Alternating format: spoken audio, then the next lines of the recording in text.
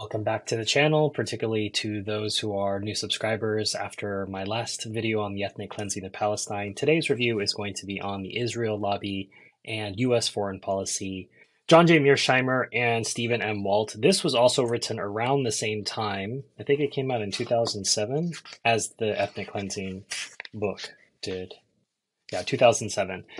After which Professor Mearsheimer was, as predicted, uh, smeared as an anti Semite so now that we've talked about the historical circumstances behind how Israel came to be what it is today, which is in possession of a bunch of land with residents that they never planned for and that they have no real plan for, uh, who've decided to stay because it was their homes um, that their family had lived on for, for a lot of time. Now that we've had a chance to take a look at Palestine, I wanted to take a deeper look at Israel and its relation to the United States. What is the important pledge that is always given by American presidents, American presidential candidates, especially lately, is you have to put on a kippah, you have to go to the Wailing Wall, you have to close your eyes, you have to touch the Wailing Wall, and you have to prove that the greatest friend of Israel is America, whatever that means. Now, there is no logic for Israel and America to be greatest friends. So I want to walk through that today with some quotes. So I have these all marked out for parts in which um, this can be disputed. So let's start with the idea of the formation of the country, right? America is a secular country. It happens that there are some religious people that live in America, even let's say a great percentage of the population professes some kind of religion and actually practices it. However, America is not really a religious country. It's not founded on a religion, and people are free to practice uh, or not practice religion. Israel is a state that's founded on Judaism, even though it may profess to be secular.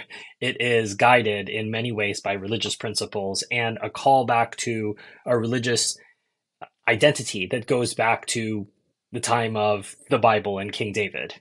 Um, and so there is no similarity there between the types of countries. One that has, you could say, some ancient tie to biblical times, thousands of years old. There is some connection, you could argue. America has been around for about five minutes, a couple hundred years old, secular country, pluralistic. So there is no connection between Israel and the United States in terms of the type of country it is. So we can't argue that they're great friends because they're very similar in how they're founded. They're not. There's no similarity there. What about what the interests are in the Middle East?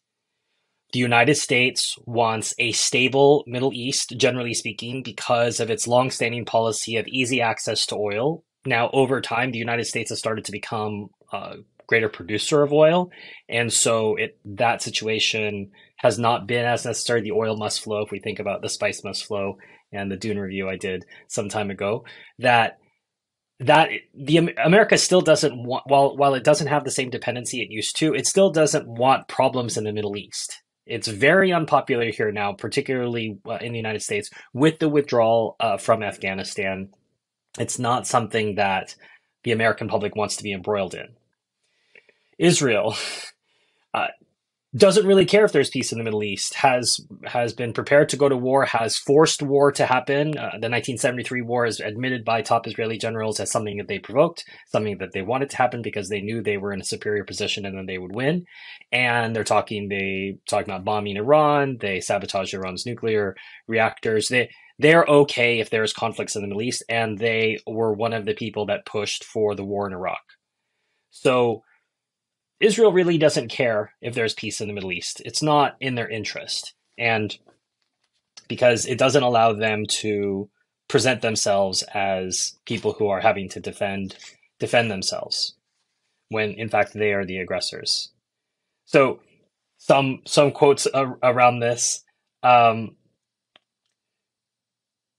Palestinians have used terrorism against their Israeli occupiers as well as innocent third parties their willingness to attack civilians is wrong and should be roundly condemned.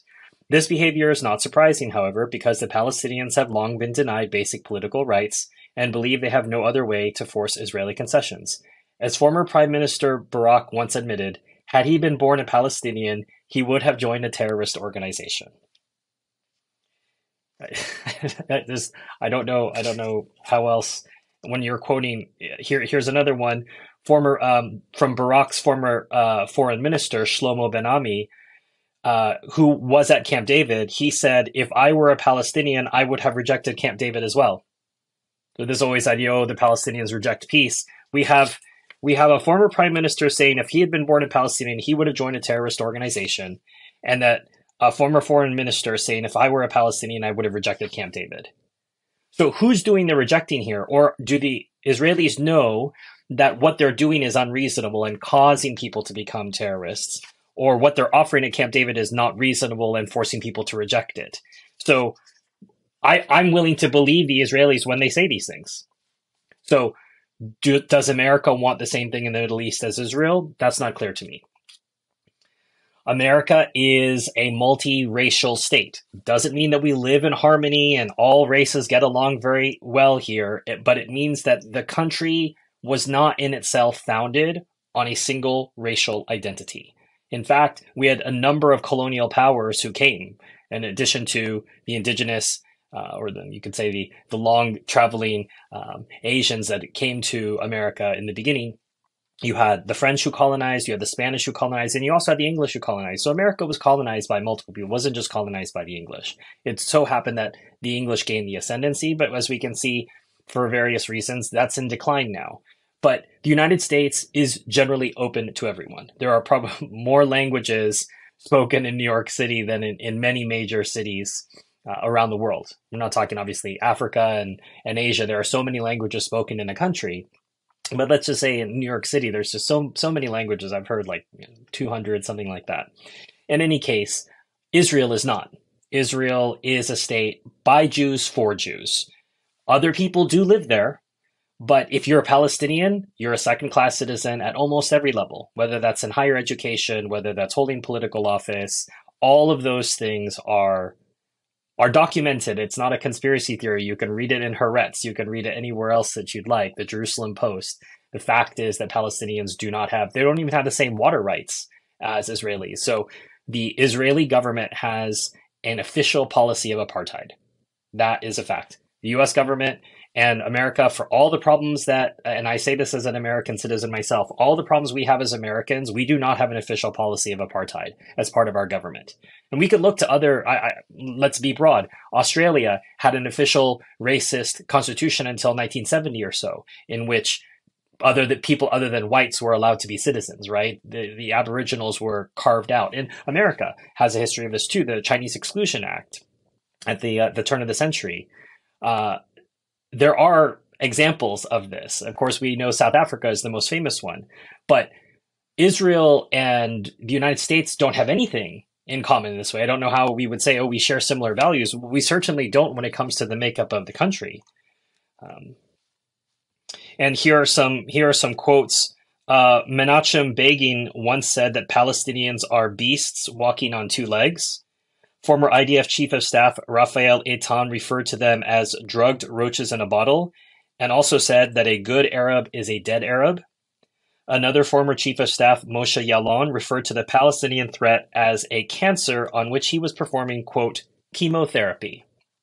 So, this is what uh, an ethnically oriented state um, offers. Here, here's another poll released in March 2007 found that 55% of Israeli Jews wanted segregated entertainment facilities, while more than 75% said they would not live in the same building as an Israeli Arab.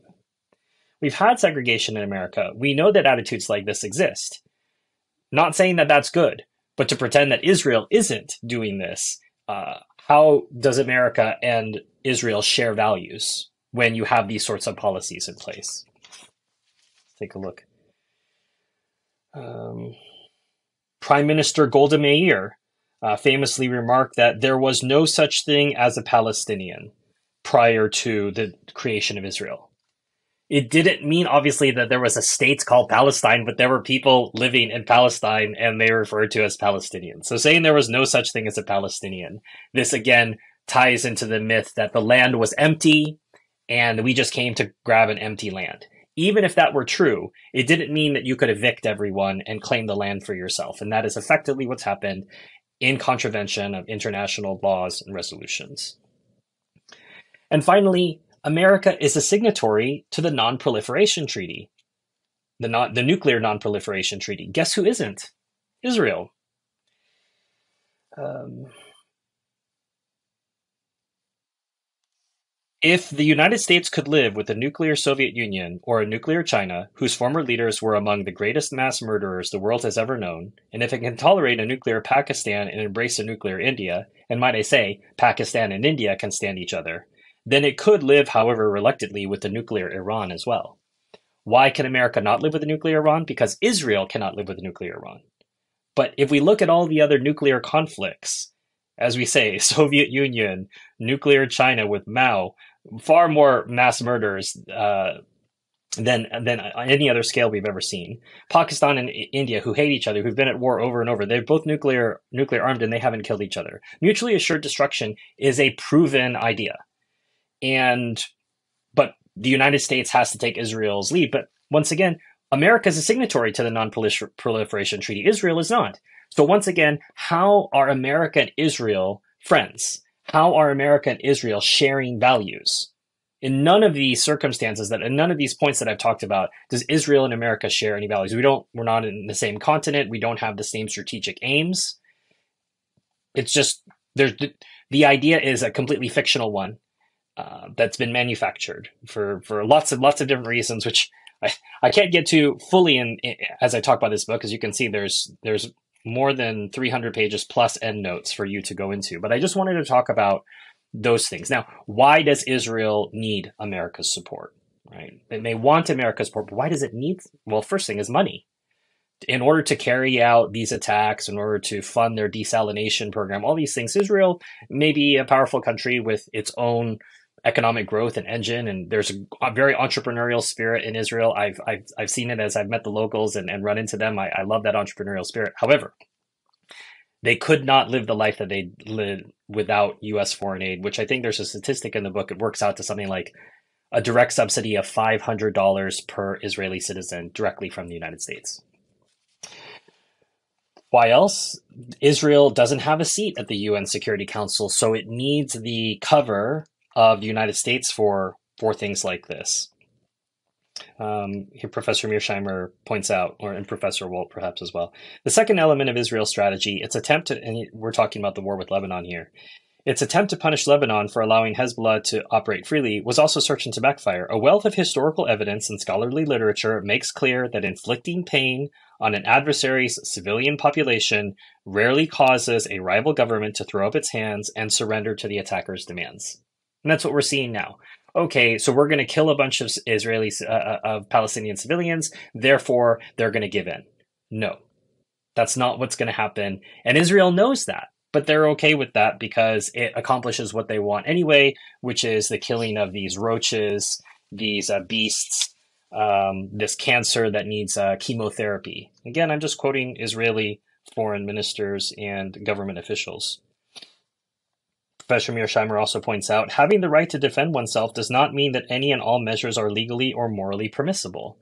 I've said this that if I had somebody in a cage and I deprived them of water and food, and once I walked by their cage every now and then, uh, a chicken bone came out and scratched my neck, or chicken bone blinded one of my children, and then I say, "Well, I have a right to defend myself," and then I go in and I, I, uh, I drop a bunch of uh, hot tar on them or boiling water and then I say, "Well, see, I'm defending myself." It's like, well, how how do you think these people are reacting like this? Do you think they're reacting like this because they don't have anything better to do?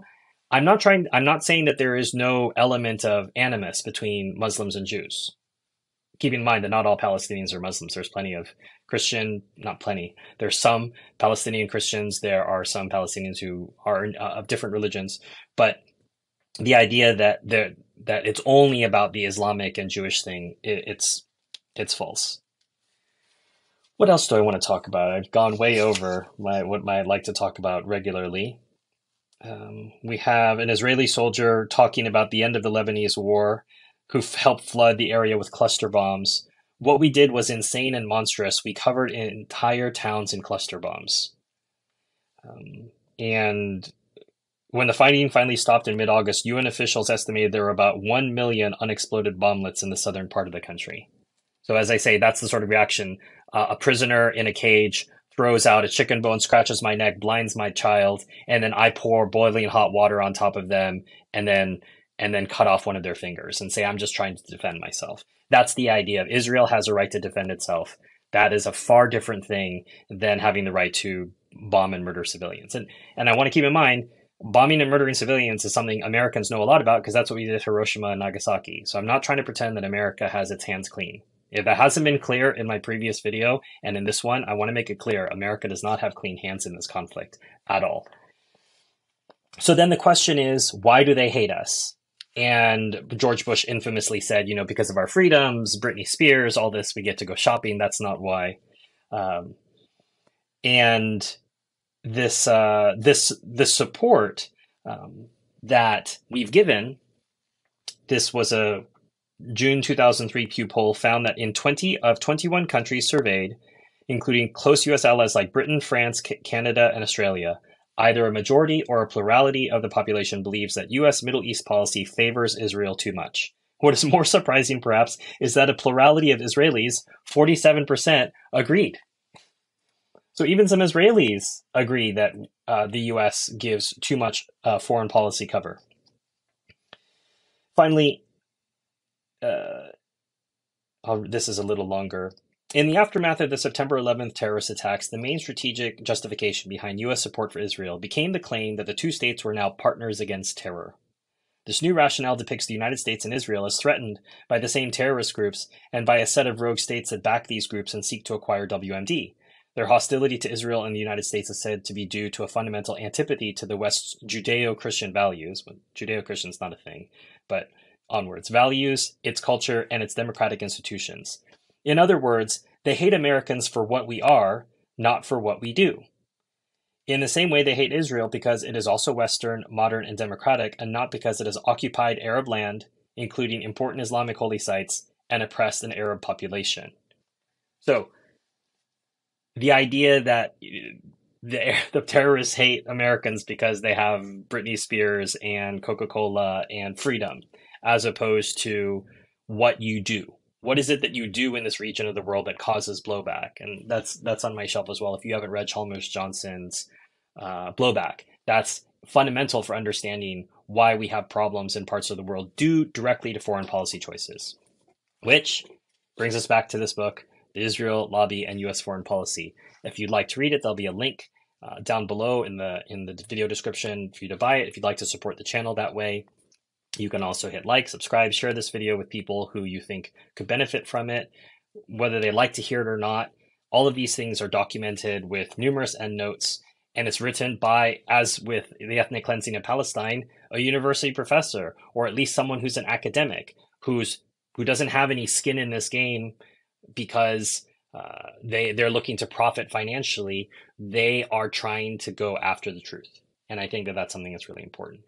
Also, if you'd like to support this even further, you can subscribe to my Patreon. That link that is linked as well, as well as there's my Amazon wish list. If there's another book that you'd like to uh, see reviewed, feel free to buy one from there, and I'll, I can possibly review it. Next, my next book review will be the last one in this Israel Palestine examination, and it's going to look at possible peace deals. Um, from a book that I read about the different policies that have been proposed. So as I say, the first video was to look at Palestine side. This was to look at question of Israel, and my last review will be to look at is there a possibility of peace? And I hope to answer that in the next video. Until next time, enjoy your reading.